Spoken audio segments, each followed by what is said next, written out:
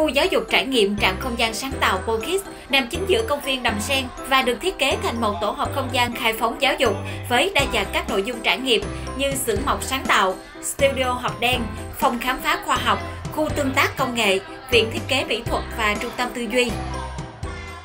Các em sẽ có cơ hội là vận dụng tất cả những kiến thức mình học được từ nhà trường,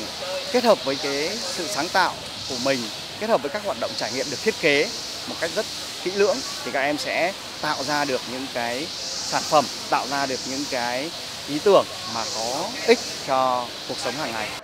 Với những trải nghiệm mới lạ, Bokids hứa hẹn sẽ mang đến cho các cháu thiếu nhi những kiến thức bổ ích cũng như kích thích tư duy sáng tạo ở trẻ nhỏ và học sinh.